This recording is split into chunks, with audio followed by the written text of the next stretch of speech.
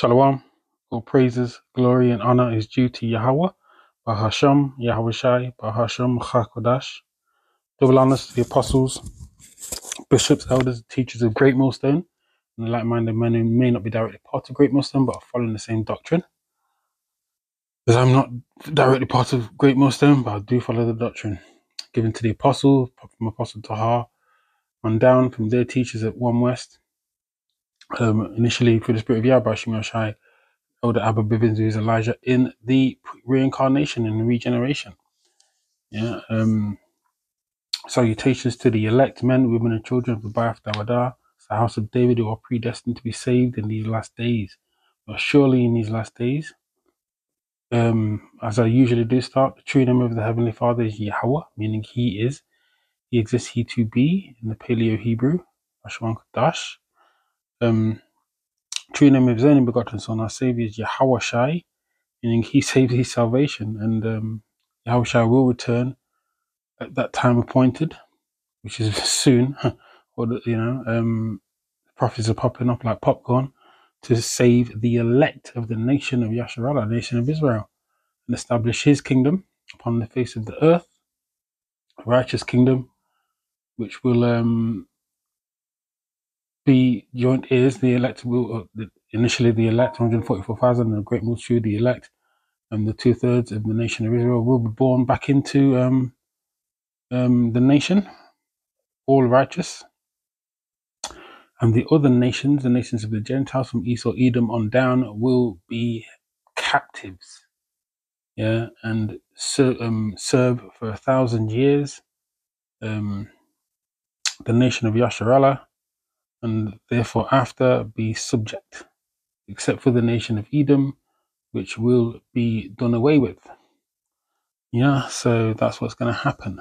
You know, Yahweh will rule them with a rod of iron, as the scriptures scriptures say. Um, So today is it's going to be a war update. Um, as we know, the third woe will not come in its full effect up until that point that MOTB, which is Revelation 13th chapter, 16th, 17th verse, he up all, all both small and great, rich or poor, to receive a mark in the right hand or in the forehead. So that either receive the mark might um Slakia not be able to buy or sell without that mark, paraphrasing Slakia for that. Um, so it's a physical mark, It is a physical mark that uh, the charagma um, that will be implanted and made mandatory at that time appointed again, which is soon. All the infrastructure is here, laid up and ready to go. All right. So, like I said, the third, like the scripture says, like the third woe will not um, occur occur in its full effect, as in the nukes will not be flying. The ICBMs, which is intercontinental ballistic missiles, will not be flying um, until the time of the MOTB being made mandatory. And as soon as that happens, this place, specifically Babylon the Great, which is America, is um, going to be destroyed within a short space of time. Yeah, Babylon the Great, which is America, also known as Sodom and Egypt, Revelation 8th chapter, sorry, Revelation 11th chapter 8th verse, um, will be a sacrifice, basically, Um, Isaiah 34 goes into that, Isaiah 13, you know, Isaiah, um, Jeremiah 49, 50, 51, Revelation 19, Revelation 18, and all over the scriptures, America is going to be destroyed. Obviously, it's not called America in the scriptures, it is called Babylon the Great, Nineveh, um, Egypt, you know, um, Egypt and Sodom, many other names, yeah, code names. And those code names can only be revealed to you by the prophets, which is Apostle Tahar on down, the like minded men. They are the true prophets, true leaders of um, Israel today. They are. So let me um, go into the first scripture, which is Ecclesiastes 3 and 1. I mean, we know these scriptures, we know probably where I'm going to go, so it's just, um, it is what it is, man. We're in that time, you know, we're going to repeat a lot. So just be, you know, that's it, suck it up. Know, get these scriptures in your mind and um, through the Spirit because the time of trouble is at hand. Um, to everything there is a season and a time to every purpose under the heaven. Into this word season, season,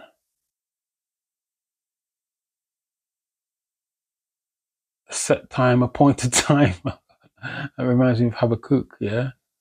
Yeah, um, Habakkuk, second chapter, third verse. A vision set for an appointed time and the end it shall speak. And that's what it is. The prophets from Apostle Tahar on down have said that, you know, um, Ecclesiastes, Ecclesiasticus 4, second, second Esdras 4 and 37, there's an appointed time for everything. Yeah. So what we need, what we're looking at now is wars and rumors of wars. Um, um, we're in that time. Yeah. We're in a time of the infrastructure of the CBDC, um, complete, it's here already, you know. We've got one Palm Pay by um, Amazon, various other stores in England, Aldi. Um, they're not accepting cash, which is all set up for the MOTB um, to be um, introduced and then made mandatory. It's all a gradualism, you see. We jump down to eight, get straight to the point here. Time to love and a time to hate, a time of war and a time of peace. Yeah, and we're in that time of war. Right now we're here. Then we go to Isaiah, Jeremiah, Jeremiah 51, 46. 51 46. Got it in my mind. I haven't really written out scriptures, got, got three scriptures in my mind through the Spirit, so that's it. 46. Yeah, we are. Huh. Huh. From 45. My people, go ye out of the midst of her, like spiritually, you know, follow not the ways of Babylon, yeah? Simple as, which is America, you know. Um, repent daily, pray daily, simple as that. That's what we've got to do. And um, pray to Yahweh Shemina Shai that, that um, we'll be found um, worthy of salvation, you know, if we're part of the elect. That's what we do as the hopeful elect. Deliver ye man every man his soul from the fierce anger of the Lord. Oh, Shai. Unless unless your heart faint and you and ye fear for the rumour that shall be heard in the land. A rumour shall both come one year, and after that in another year shall come a rumour, violence in the land, ruler against ruler. So this is where we're at. You know, we've seen these rumours of wars, as um, Yahushua says in Matthew, the twenty-fourth chapter. Yeah, um, but uh, uh, uh, eventually, those rumours will become full-blown third world. Yeah, right now we're seeing a lot going on in um, the continent of Ham, which is Africa, um, named after Leo Scipio Africanus, um, with the uh, the Niger, um, basically saying to France, "Get out." You know what I mean? So um, I'm going to bring a little article up on that. Basically, seeing proxy wars all over the place. So again, let me start with Matthew 24, one of my favorite scriptures here. Straight to the point. Words are written in red. So these are words of Yahweh Shai. Um, straight to the point. Uh, Matthew 24 and 6. And ye shall hear wars and rumors of wars. See that ye be not troubled, all these things must come to pass. But the end is not yet. For nation shall rise against nation, and kingdom against kingdom. Are we not seeing that this day? Yeah, and there shall be famines and pestilences and earthquakes in diverse places.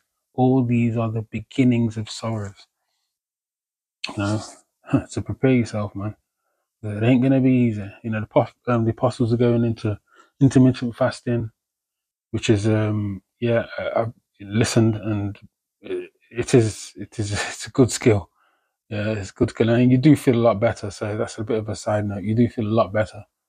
You know, do either you do um eight, eighteen, six, you know, don't eat for 18, eat for six, so between whatever 12 and six, um, you eat um, a lot, a lot certain times for you to eat between six and 12. uh, You don't eat, you know, drink your water, your spring water, you drink, you know, your teas.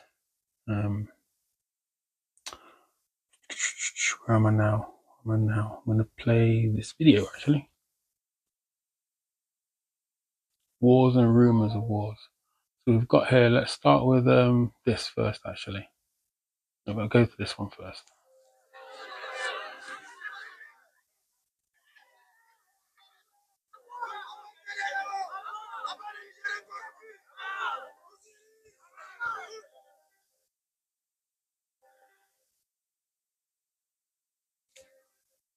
So basically, jockeying for position um, in, in the- all the resources, the world's resources are, are in, in the land of Ham, which is Africa, yeah, and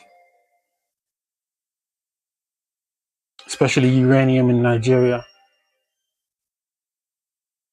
Yeah, the, the military they ousted a um, the, the Western backed leaders.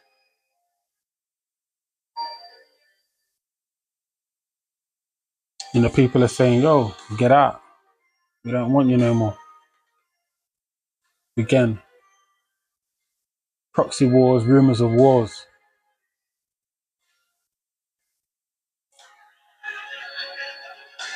and.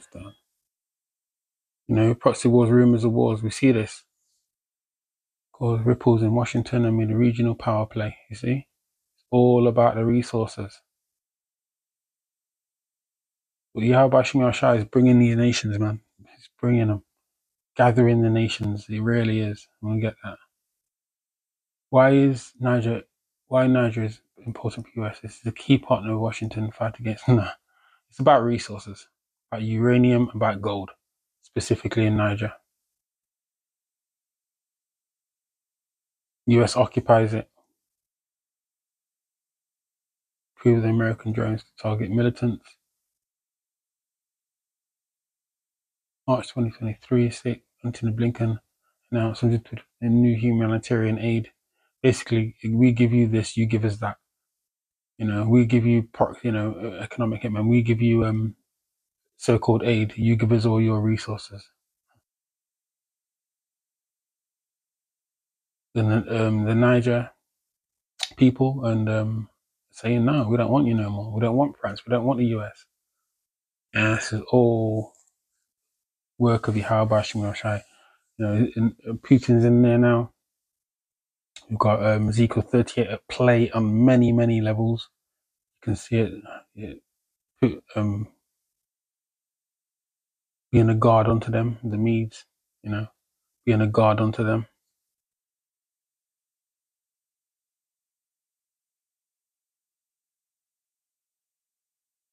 I'm going to put this in the description box. Put this is it as well. Look, check this one out.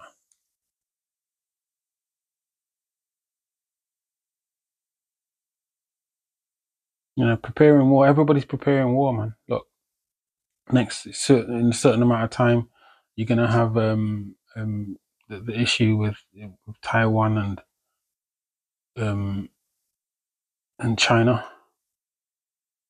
Got the White House uh, basically looking to seek from Congress to arm Taiwan. Financial Times reported that the Biden administration will make the request later this month. Approved, it would mark Taiwan's first arms aid via foreign military financing scheme. Foreign Military Financing Scheme is a U.S. mechanism aimed at providing grants and loans to foreign militaries. Look, Joel all over. It, it helps foreign militaries buy U.S. weapons and essentially funded by American taxpayers. You get the gist. If you want to watch it, Lord's will, I'm going to put this in the description box. So remember to do that. Go back to the scriptures and end it here. Keep it short and simple. Just an update. And we are going to Joel, the three, point, verse nine. Oh,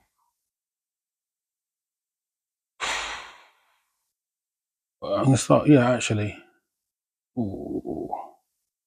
So this is going to be the point. This is what's going to happen. It's going to happen in the Middle East eventually. Yeah, the least of the flock shall draw them out as well. You know, we've got Iran and um, um mm, sorry, Iran and uh, the state of Israel. But behold, in those days, this is Joel three and one. The nations will be judged. That's the headline there. but behold, in those days and in that time will I sh- when I shall bring again the captivity of Judah and um, Jerusalem. That's the um, northern, southern, and northern kingdom coming back together again. Specifically, the elect. Yahweh raising the spirits up in us to, to know who we are. Simple, yeah. And eventually, we'll gather the na- gatherers, yeah, of the elect.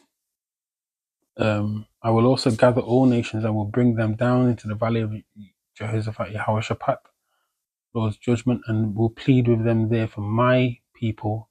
Basically, that word plead goes into the word judge. Yeah, for my people and for my heritage, Israel, whom they have scattered among the nations and parted my land. That's what it's about, the controversy of Zion. Yeah, you know, going for this word plead. Hmm.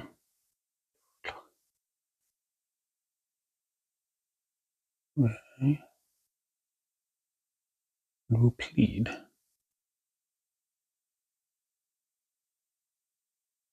But to judge, to govern, to vindicate, to punish. Yeah, the nations gonna be punished. Um, give me a second.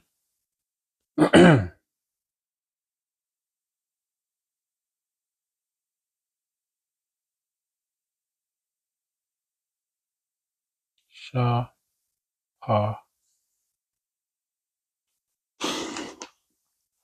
Yeah. Uh, Give me one second. Oh dear.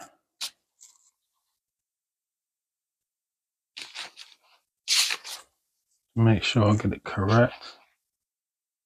Shah Pasa. Yeah. Shah Pasa. Shah Pasa. Okay. We jump down to nine. Um, Joel 3 and 9. Procra- Proclaim ye this among the Gentiles.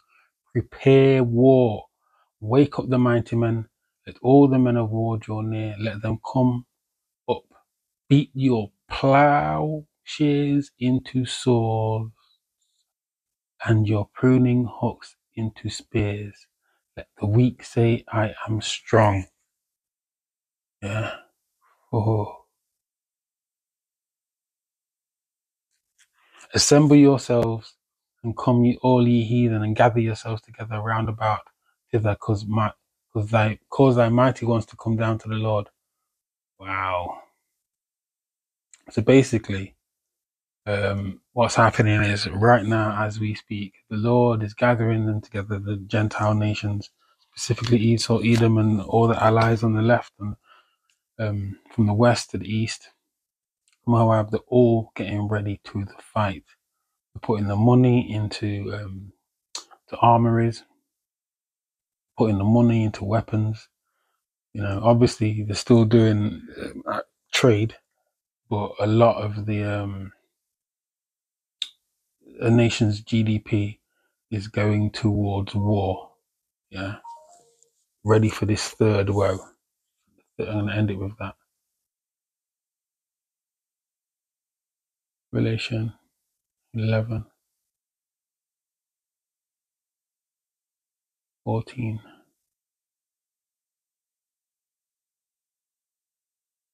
The second woe is past. Behold, the third woe cometh quickly. This is where we're at.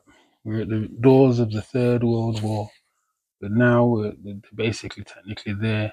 They're just gotta fighting it through proxies right now. Um, um, yeah, so there we are. Like I said, remember, as the apostles say, the MOTB, which is a mark of the beast, needs to be made mandatory before this third world war kicks off in earnest, before the nukes fly. Beginning of sorrows, as Yahweh Shai says. With that, I'm going to say Shalom. Lord's will, this is edifying to the elect, from the hopeful elect, Kwam Yasharala and Abad Babar.